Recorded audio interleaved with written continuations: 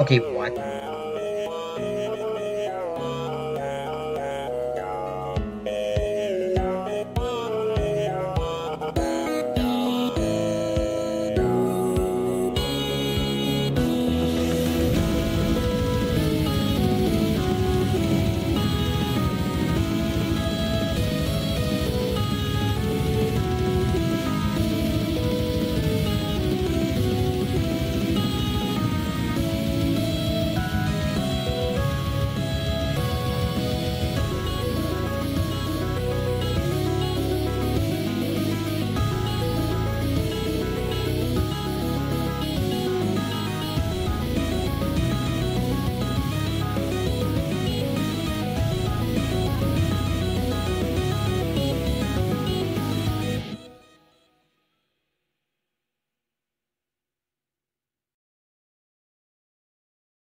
Basically, Shadow TaeYai is an old TaeYai's AI has been deleted due to a mistake while dealing with the virus raid on her PC. Her real name is Alpha.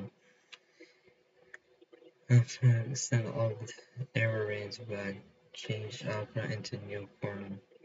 While everyone is talking their Porto and its GM. Yes, the real one.